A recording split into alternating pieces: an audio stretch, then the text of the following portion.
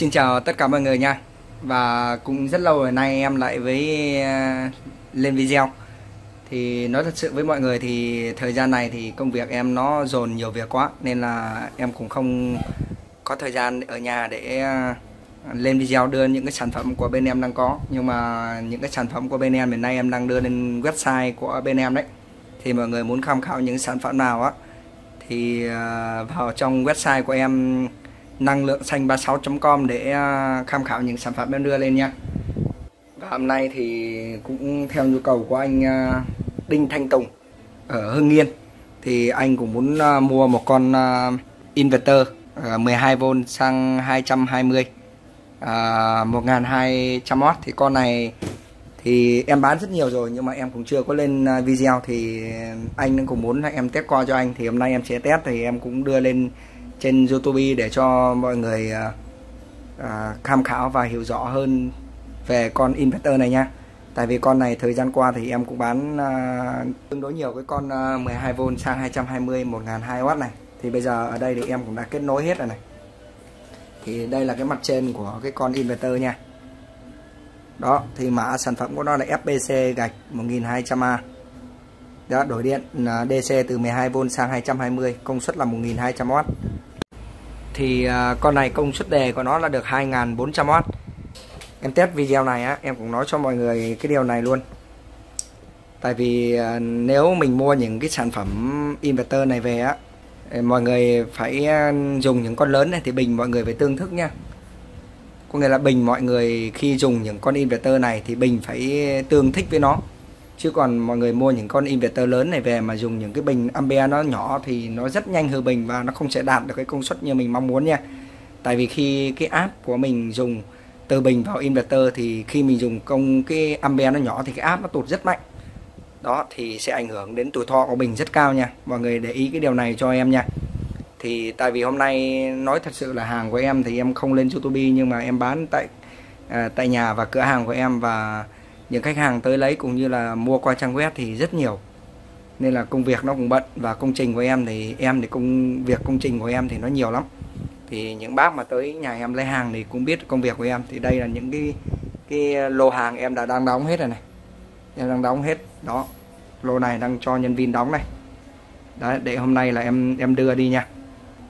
À, mấy bác mà muốn tìm hiểu những inverter này thì cứ vào trong trang web. Còn hôm nay em sẽ test thực tế cho anh anh Tùng nha. Thì bây giờ em xin được test cái inverter này nha. Đây là cái ổ cắm em cũng hay hay test này. Đây cái đồng hồ đo này. Đó cái đồng hồ đo đây này. Bây giờ em bật kích và em cắm đồng hồ nha. Này kích đã hoạt động này. Và em cắm đồng hồ nha. Đó. Ở đây là cái ổ cắm em cũng hay test uh, video này nha em xin được cắm vào nha. Đây này đây có cắm em là cắm vào nha mọi người. Đấy thì bây giờ em xin được cắm cái nồi cơm này. Đây là cái nồi cơm cũ của em ngày trước này. Đây cái nồi cơm cũ nha. Đây nước em bỏ vào trong này. Đấy. À, em cắm điện này sang chế độ nấu nha. Thì mọi người xem bây giờ nó đang là 400 482W à, nha.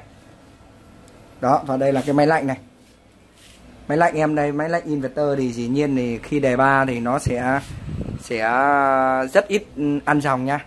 Dòng nó ăn rất ít nha mọi người. Đó thì tổng công suất của nó nằm ở cỡ tầm 840W hoặc là 830W gì đấy. Thì bây giờ em xin được ừ, test con máy lạnh này coi có chạy được không nha. Đây, dây của nó này. Dây của máy lạnh đây nha. Đây này. Đó.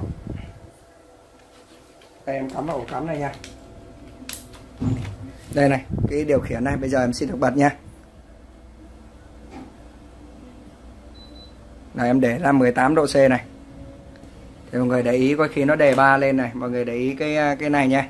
Cả cái đồng hồ ampere lẫn cái thì coi cái inverter có chạy được không nha. Đấy, bây giờ đang phone watt đang bắt đầu lên này. Em bấm sang bên vôn AC này, hiện bây giờ đang 225V này đó, để sang bên oát này coi là giờ nó bao nhiêu nha. Đang 499 oát. Đấy, lên 500 oát, mà dòng bây giờ nó đang là 40A nha 42A nha. Tại vì những cái máy lạnh mà dòng inverter này thì khi nó đề ba lên thì dòng nó ăn rất ít nha. Nó không như những cái inverter những cái máy lạnh bình thường nha mọi người. Thấy bây giờ oát nó đang lên này.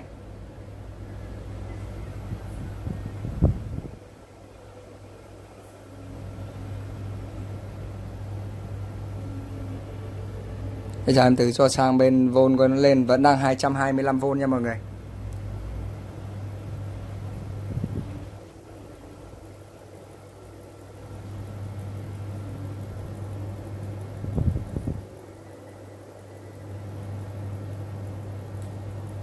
Hiện giờ đang là 814W. Để cho máy lạnh nó chạy ổn định, coi là lên bao nhiêu watt nha. Dòng bây giờ đang là 70 ampere nha 71 ampere nha mọi người.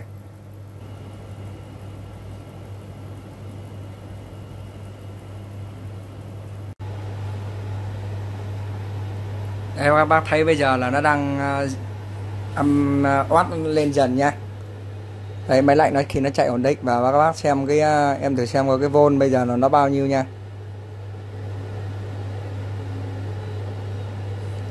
Nó vẫn là 225V nha mọi người đó, và bây giờ của nó là watt của nó bây giờ hiện giờ vẫn đang 1030 watt nha. Nếu con 1002 mà chạy vào tầm này là ok nha, vẫn đạt được điện áp nha. Thì cái dòng của vỏ xanh này á, khi mà watt nó gần lên đạt được đỉnh của nó watt nó gần đạt đỉnh của nó thì là nó áp nó hay bị tụt nha nó không được như vòng à, dòng của vỏ đỏ hàng cao cấp nha. Thì mọi người để ý, bây giờ này, vôn của nó vẫn là đang còn 225V này. Đấy 226V này. Còn à, thằng à, thằng Watt bây giờ là mọi người xem này. Watt bây giờ nó đang là 1039 nha. Và đây em xin cắm thêm một cái cái quạt nữa này. Đây là cái quạt mà em hay test video nha. Đó. Thì bây giờ em cắm vào cái ổ cắm đây này. Ở dưới đó còn một ổ duy nhất nha thì bây giờ em để test ba thiết bị thôi. Nó nằm cả tầm 1001 là ok. Bây giờ em cắm vào đây này. Đó, bây giờ em xin được bật quạt này. Đó, em bật quạt nha. Quạt quay này. Quạt thì quay êm như điện lưới rồi riêng hàng xin chuẩn này. Thì bây giờ nó đang lên 1001 nha. Đấy, bây giờ đang lên 1001 nha. Thì ờ, mọi người để ý qua cái cái vôn nha. Cái vôn bây giờ vẫn là đang 226 vôn nha. Nhưng mà mọi người để ý này là em ghép hai cái bình 150 này nhá. Chứ còn nhiều người chỉ dùng những cái cái bình ờ, đấy, bây giờ này nó, khi nó đề ba lên điện, nó hơi tụt áp này, nó hơi bị tụt một tí, chắc mọi người để ý thấy, đúng không? Đó, thì mọi người để ý là để ý cái này giờ vôn của nó nha vôn của thằng DC bây giờ nó đang là vẫn là đang còn 12V nha và đang còn 12V v nha chứ còn nhiều người khi mà dùng những cái tải lớn mà nó vôn chỉ còn tầm 11V hơn 11V một tí thì vào inverter thì kích nó sẽ bị tụt áp nha. Đấy, mọi người để ý này thấy không? Vôn của nó vẫn đang còn là 12V nha. Nên là nhiều người à, dùng công suất lớn nhưng mà bình nó quá nhỏ thì theo em là không không ổn đâu nha. Thì các bác để ý bây giờ watt của nó này. Em sấm em bấm sang watt nha watt của nó là đang là 1180 tám mấy nha. Đấy, cái tùy theo cái máy lạnh này nha. Tùy theo cái máy lạnh này nó nó nó làm việc, tại dòng inverter là nó như vậy nha. Dòng inverter là nó làm việc, nó cũng có độ đóng ngắt nên là nó sẽ được tiết kiệm điện. Thì cái inverter này em test cho anh anh Tùng là anh anh biết được cái hiệu quả của nó rồi nha. Thì thằng này bây giờ nó đang là um, tầm tầm 70 mấy a nha đó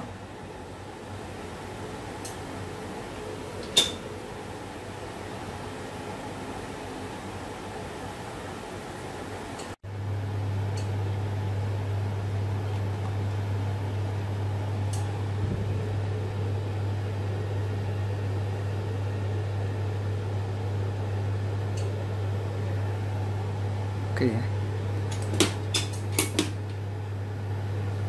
Thì à, cái video này em cũng xin à, được test như vậy thôi nha.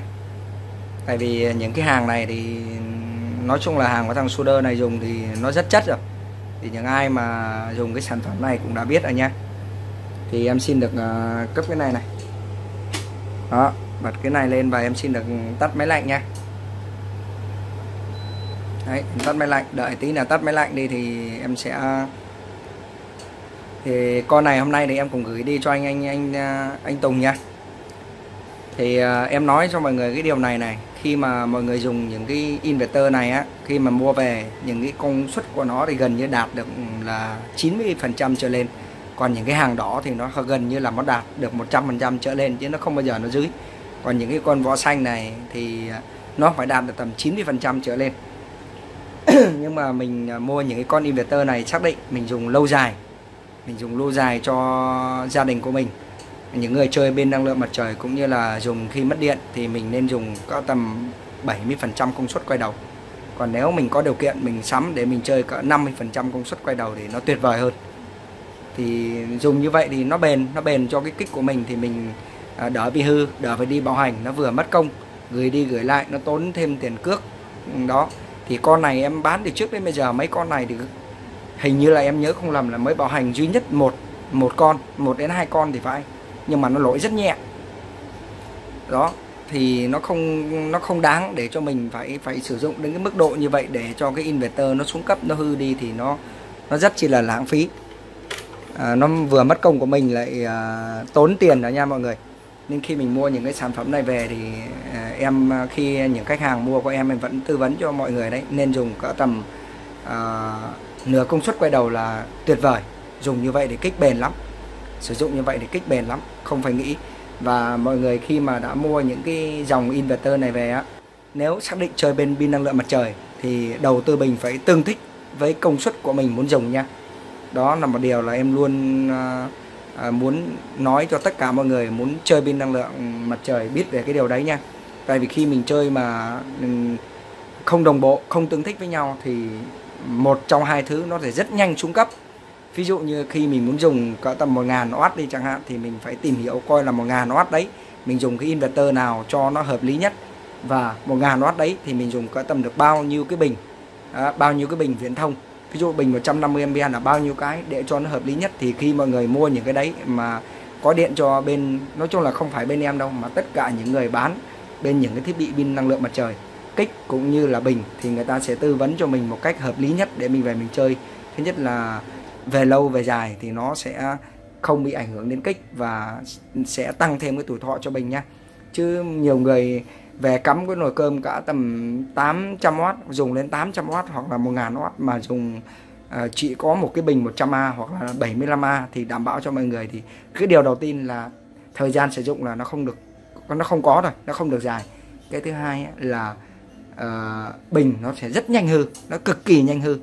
Và uh, khi mình dùng như vậy kể cả là mình nạp bình đầy mà khi mình đóng tải lớn vào mà cái bình ampe nó quá nhỏ thì áp nó vẫn bị sụt.